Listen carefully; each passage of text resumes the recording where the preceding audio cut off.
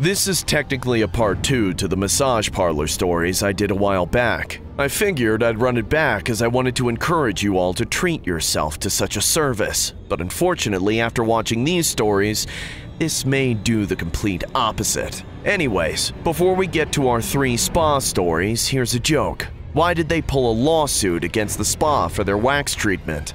It was a ripoff. Get it? Never mind. Here's the animations. I recently went out of my comfort zone to get a massage. My back had been killing me for the past several weeks, and my buddy kept telling me I had to go to this particular spa in town. He hounded me about it every time I complained about my back pain. Not only was he adamant that a massage would do wonders for me physically, but he was also very persuasive with his insistence that a lot of the masseuses were super hot chicks that knew what they were doing. With that in mind, I thought that if I could get one of those nice looking girls to put their hands on me, I wouldn't have to be worried about the awkwardness I was usually concerned with when I considered getting a massage. Unfortunately, my friend didn't let on that I needed to call ahead in order to book an appointment with a specific masseuse. I walked in at what must have been their busiest time of day. The lobby was full of people waiting. Immediately, the receptionist started crowing at me and making me feel like I'd made a mistake by coming. We only have one therapist available for walk ins. The wait time will be at least 45 minutes. If that doesn't work for you, then you'll have to make an appointment. No, no, that's okay. I can wait. I just really need some work on my back. All right, I'll put you on the next slot with Josephine. What kind of work do you need? I'll let her know. Um, the pain is really bad. Chronic, too. I guess I need the deep tissue? Okay, and your name? It's Gabe. Have a seat, and Josephine will call your name when she's ready for you. Thank you. I took the last available seat, stuck between some sweaty construction worker and an overweight secretary. I was already having my doubts about the experience. I'd just gotten yelled at for walking in, but I couldn't even leave if I wanted to. It didn't even cross my mind that the name Josephine was a little off for someone who was supposed to be a hot young girl, not until the waiting was up and Josephine revealed herself to me. I tried not to show my disappointment on my face, but my stomach truly sank to the floor when I saw her. Gabe? She wasn't just old, but she wasn't even looking good for her age. She had this awful hunchback and this drooping, crooked jaw. Her head looked way too big for her body, but the glasses she wore were somehow still disproportionately wide for her face. Even worse were her crusty, yellowing teeth that made it obvious she'd never been one to care too much about oral hygiene throughout her many years. But the thing that surprised me most, even more than her baggy, wrinkly skin, were her hands. They were crooked and arthritic from decades of massaging people for a living, and it was honestly a wonder how in the world she was able to still do this job with her hands in such a state. We went through what I imagine is the basic small talk before a massage. It was like talking to my grandmother after avoiding her for a couple of years. Except I was half in laying face down on a table. But then she began the massage, and immediately I knew that it wasn't what I had imagined. I hadn't really had the foresight to understand what deep tissue meant, but I was learning in that moment as this sharp old woman began to dig her jagged elbows into the pressure points all over my back. I groaned and squirmed, but she was unfazed. She even put her weight on me to keep me steady. I bit my tongue and tried to bear through it, hoping that it would eventually feel good if I got through the initial shock of it. That did not work. It only got worse. At some point, it felt like she was straight up just punching me in the back like some bad CPR. Then she did something I didn't know she had the agility for. She climbed up onto the table and stood on top of me, walking up and down my back and burying the heels of her feet into the notches of my spine. She then did the unthinkable and began jumping on me like I was some kind of trampoline. I could feel so many cracks in my joints, but it honestly felt more like my bones themselves were breaking. I thought they only did massages like this in Japan. I learned from the best. It was obvious she had no intention of going easy on me, and no matter how much I tried, I couldn't get used to it, let alone enjoy it. When she started walking on my neck and cutting off my windpipe, I couldn't take it anymore. I broke free and sprang up from the table. Okay, geezer, that's enough! Are you trying to kill me? You said deep tissue, so I'm getting the deep tissue. What did you expect? I don't know. I've never done this before. Why doesn't anybody explain this stuff? All I want is something nice and relaxing that's going to ease the pain in my back, not make it worse. Jeez, how is anybody supposed to enjoy that? Suddenly, the old lady looked really hurt by what I said. In that moment, I regretted yelling at her. I hadn't meant to make her feel bad, it was just the whole thing was turning out to be way more stressful than it should have been. Hey, I- I'm sorry. I'm just confused. I, I ordered the wrong thing, is all. No, no, you're okay. I'm sorry there was a misunderstanding. If you want something relaxing, I also specialize in a mud bathing treatment. I was skeptical at first, but she was very thorough with her description of how a simple scrub of special mud all over my skin would exfoliate my pores and permeate natural analgesics all throughout my body. It was supposed to be relaxing and pain relieving and revitalizing and well, the way she put it made it sound very much worth getting covered in mud. I went ahead and agreed. She had me lay down on my back, then put two slices of cucumbers over my eyes and told me to breathe deep and relax. She left me alone with the ambient music for a few minutes before beginning the treatment. The first thing I noticed was that the mud felt a lot warmer than expected, like it had been sitting in the sun instead of the cool, dark place in which I had imagined it would be stored. When she started spreading it over my face, however, is when I noticed just how not right it smelled. Mud ought to smell mostly like nothing, and if anything, it should smell like the soil the earth, but whatever it was, it smelled like a barn. It found its way up my nostrils and burned with its pungency. And then I finally realized it wasn't mud. It was unmistakably fecal matter. Fresh feces. I was in shock, but then things took a turn for the absolute worst. All of a sudden, there was a huge clump of this lumpy, disgusting crap being shoved in my mouth. This old woman was trying to cram her excrement down my throat and suffocate me. Ah! And I couldn't even open my eyes. I clawed at the cucumbers, but they were super glued on. I'd rip out my eyelids before I could get them off. The fight or flight boiled over, and I burst up from the table, shoving the old hag to the ground, and running, stumbling, colliding with every table and corner before finding my way out of the room in my blindness. Help!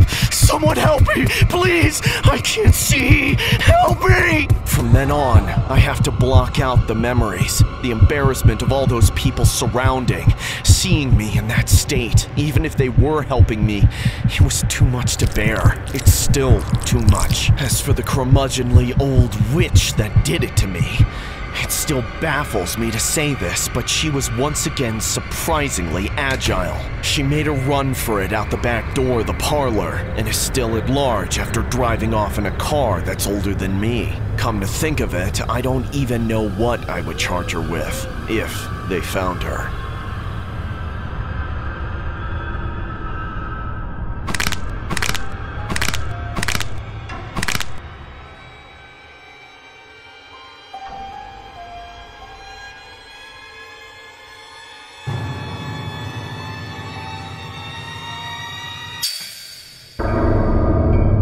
As a woman who worked at a spa, I'm no stranger to the unsavory characters who try to solicit immoral acts and behave inappropriately with the employees. It seems like every woman I've ever worked with has some kind of horror story on the subject of obsessive, misogynistic men, and I am no exception. And I hate to say this, but what happened on my table was so awful that it ended my career as a massage and acupuncture therapist. Still, that is where it began. I'm not at liberty to use his real name, but I will freely use the placeholder name of Herbert, as it rather well describes both his personality and physical characteristics. He was extremely old, old enough to be my great grandfather, though he probably looked older than he actually was. He had a grotesque bulging pot belly that stuck out even farther than his malformed looking jaw that was stricken with a horrible underbite. I'm sure his record breaking deformities caused him significant chronic pain. because he had weekly appointments at the spa that he never missed. Unfortunately, like a lot of creepy old men, he had picked out one woman from all the other therapists and refused to get worked on by anyone else. And in his case, I was his special gal. What's worse, he seemed to self medicate his pain with alcohol, as he was always, and I mean always, under the influence. This is supposed to be against the rules, but considering people with obvious dependencies, we usually allow them to do whatever they need in order to sit still. Unfortunately, this meant I had to constantly deal with the stench of booze that always emanated from his body. As you can see, we make a lot of accommodations. We also have a jacuzzi that is openly available to all of our clients. However, to some, it seems to be an invitation to forego any respect for privacy or modesty. In Herbert's case, he would spend 20 minutes in the tub before every session, wearing this tiny worn out Speedo that he's probably had since the 60s. He would always wait until the last minute, then come in for a session right after his soak.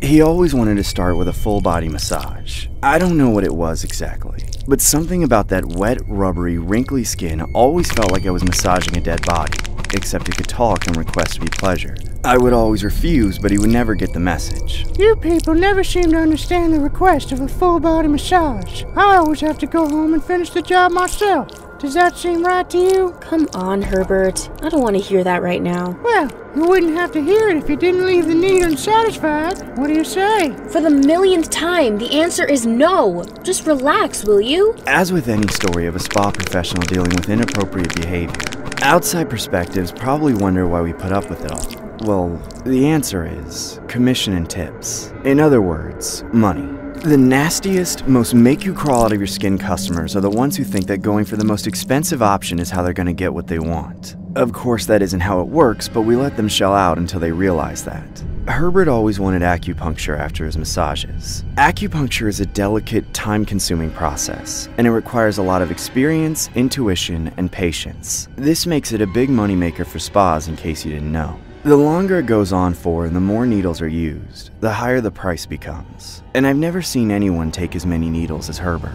At a certain point, every single actual acupuncture point would be covered in needles, but Herbert would just keep asking for more. I knew it was risky, but every acupuncture patient signs a waiver freeing us of any liability. So, by the policy of the establishment, we fulfill every request we reasonably can. Eventually, he'd be covered head to toe, every square inch of his body protruding with needles, probably a thousand of them. But even then, he would still be getting up to his usual antics. You know, you've poked me so many times. Will I ever get a chance to poke you back? You know you'll never get the chance, so can you stop asking? Oh, you're so mean. I'll convince you someday. As bad as it was, at a certain point I had the whole ordeal worked into my routine, and I was making bank off it. However, one night, it all came to an end. He had come in drunker than ever before, going farther than he ever had before.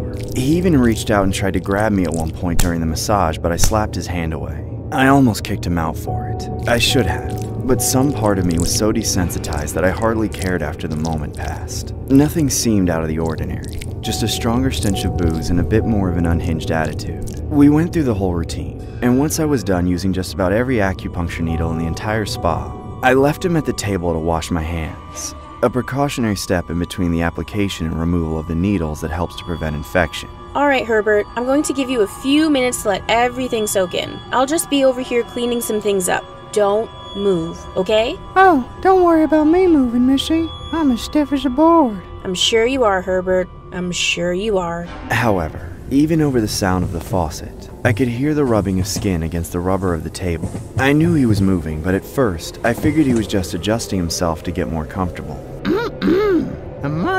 A woman sure is a sight to behold. Excuse me? I turned around ready to scold him, but in the process, I startled him. He was far closer to the edge than he should have been, and when he jolted at getting caught, he stabbed himself in the side with a needle, causing him to wince and squirm and suddenly lose his balance on his elbow. And then, he fell off the table and smacked the floor face down, digging every needle into his body.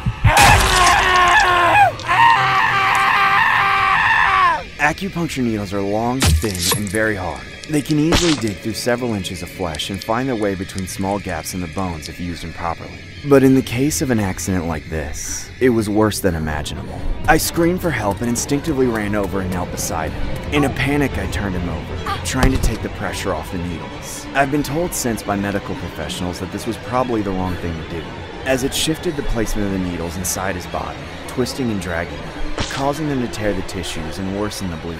And bleed he did, like wringing out a sponge full of red. Somebody call the cops! We need an ambulance! No matter how fast the paramedics could have arrived, I don't think it would have been fast enough.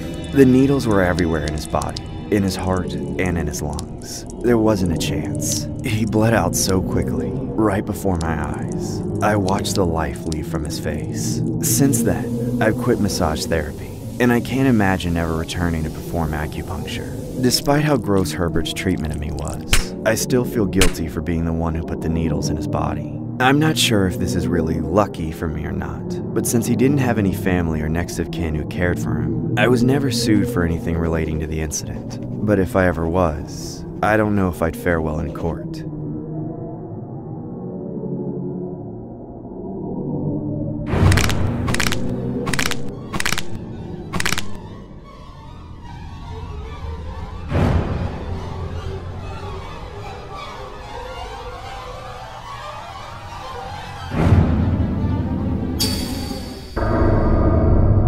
Most of my customers would come here for one purpose to relinquish importunate woes constantly haunting them after a rough day. So, one day, I noticed a bizarre middle aged woman staring through the glass window of our spa, drooling like a maniac. At first, I thought she might have been a homeless person wandering around, so when she set foot in my domain, I instantly barred her from advancing with the help of our security guard. As expected, it set her off ranting about human rights. Then, as she approached the receptionist, she threw the money across the table and desecrated our hallowed grounds by taking a seat on one of our comfy chairs. Impatient, she said, Um, excuse me? Is there any staff on duty? I can't wait here forever, you know. Seeing how she frightened the other customers, I briskly walked towards her and said, Hello, ma'am. You wanted a foot spa? She didn't respond. Instead, she left me with an icy stare and the constant twitching of her lips, which made her look hilarious. During the ongoing service, I couldn't help but notice her nasty teeth, yellowish in color, filled with leftover meat and green leafy vegetables stuck in between. And if that wasn't enough, I simply couldn't stand her breath's repulsive odor, overcoming the lavender scented humidifier next to us. Then, rubbing her feet with essential oils, my hands protested against the rough, scaly edges of her skin and a slimy substance flowing from her pores, which appeared to be pus. She must have noticed because she struck me with her phone and said, Do you have a problem with my feet, miss? I decided to apologize and focus on getting the job done. So, upon cleaning her nails and giving her a foot massage, I pampered these pitiful feet by gently laying them in a detox foot spa machine as she sat back and relaxed. She left happy with her experience. However, I hoped she would cease to return. So, when she dropped by the following day and asked me for specifically to conduct the same service, I was utterly disappointed. Every day, the woman would smile to reveal such awful teeth, and with countless acne growing on her face day by day, it only made it harder for me to look at her. Unfortunately, she wasn't only ugly on the outside, she was also terrible on the inside. She'd regularly gossip about her colleague's promotion and talk behind her back. Then, when the woman felt like I wasn't paying attention to her rants, she would hit me with her phone or the magazine, making me the laughingstock of the entire parlor. I've always wanted to be the apple of the eye, but not this way. This freak of nature was ruining my reputation, and I was determined to save whatever dignity I had left in this job. So, when the same customer dropped by again, I recommended a different type of service, which allowed me to apply other ingredients. When I explained the benefits to her, she was instantly enthralled. In the days that followed, her foot condition only worsened, despite all the treatment she was receiving. So naturally, this made her furious. As she sat, waiting for me to approach her, I could see fungi engulfing her feet, which came in the form of sores and blisters that would burst, creating golden brown patches like cereals glued to her skin. The fungal bacteria, which reminded me of a skin infection called bullous impetigo, appeared to be crawling from her feet to her legs, giving her the appearance of a zombie. This time, her attitude was more revolting, and her scent was now unbearable. She threw a glass of water at me and asked in a condescending tone. Why are you wearing a face mask? You never wore that before. Take that off. I clenched my fists, trying to control my temper. What right do you have in deciding what I choose to wear? She laughed like a mad woman and said, You got some nerve, girl. I'll give you that. Then she leaned closer, the stench of her breath even more prominent. But I can make you go viral, and your boss will certainly fire you. Since none of us were allowed to reject customers' requests, especially from a regular like her, I continued to provide her my services. When I sat to massage her feet, she made a forward gesture and reached out for my mask. I told you to take that off, didn't I? Not a moment too soon, she yanked it off and added, See? Now that's much better. I let her off the hook, plotting an idea to end this nightmare. However, none came to mind. Then, when she entered through those doors again the following day, I noticed it was just her and me. Oh, perfect. I initially told myself. However, as she sat on her favorite chair while I prepared the peppermint, Epsom salt, rosemary, and other entities for her feet tub, something hit me hard at that moment. Wait a minute. That's it. It's just her and I. I contemplated. I admit it was a dangerous thought, but somehow it made me feel a lot better. Then, moments later, the odious woman called out to me and said, Can't this service get any slower? I'm surprised the owner let you work here in the first place. I'm sorry. was all I said. Then, with a smile, I added, I've done a bit more research, and I think I know what can make all that fungi go away. A conundrum filled her eyes as she scrutinized me, wondering why I was incredibly calm and cheery. Did your husband finally make it past a minute? You don't seem like your usual self today. Whatever do you mean? What's wrong with being happy? I said, my smile bigger than ever. We did the whole routine, of course. Then, as the minutes passed, she began to sweat profusely, followed by complaints. Hey, miss, are you sure this is going to work? Why does it feel like my feet are burning? That's a good sign, ma'am. It means the treatment is finally working. Then, moments later, she began to scream, and when she attempted to remove her feet from the tub, I advanced forward, holding her legs in place. You lunatic! What do you think you're doing? We haven't finished your treatment yet, so just wait a little longer. I replied as I felt my power grow. Soon, burning sensations turned to severe pain, causing the customer to spasm until the tub was filled with her own blood. When she finally passed out, I dragged her body to the back alley, where the contents of her feet were visibly deteriorated and was left with nothing but flesh and bone. I could tell that she was a goner from the overwhelming pain she must have endured. I threw her remains in a dumpster along with what was left of her feet, which was nothing but blood and liquid cartilage from the acid I included in the mix. Till this day, no one knows about my five star service, and now that I've been promoted as manager, I'd make sure that we'd never encounter a customer like that again. I thought they only did massages like this in Japan. I learned from the best. Ah. Ah. Ah. Oh.